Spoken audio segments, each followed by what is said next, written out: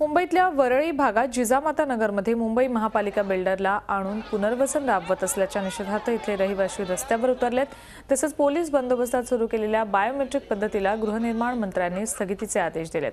पण हे आदेश डावलून बीएमसी जबरदस्तीनं बायोमेट्रिक राबवतीये. यासाठी विरोध करणाऱ्या रहिवाशांच्या विरोधात पोलिसांनी एकशे एकोणपन्नासची नोटीस काढली आहे त्यामुळे रहिवाशांचा विरोध डावलून बिल्डरच्या भल्यासाठी हा प्रकल्प घाईघाईने राबवण्यामागे मुंबई महापालिका अधिकाऱ्यांना एवढा रस का आहे असा प्रश्न निर्माण होतो बहुसंख्य रहिवाशांचा या प्रकल्पाला विरोध आहे.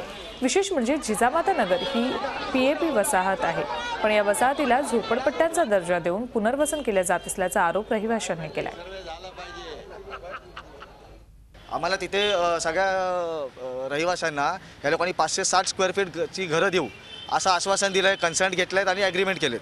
आता मला सांगा थ्री के वनमध्ये थर्टी थ्री टेन हा D C R regulation act लागू होतो. या अंतर्गत तुम्हाला दोनशे सत्तरपेक्षा जास्त घर देऊ शकत नाही. मग तुम्ही पाचशे साठ देऊ कसे देणार आहात?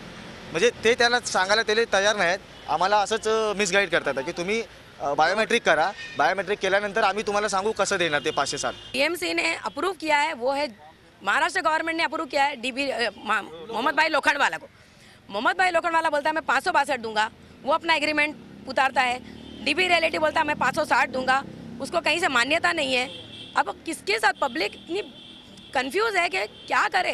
किसके साथ जाए?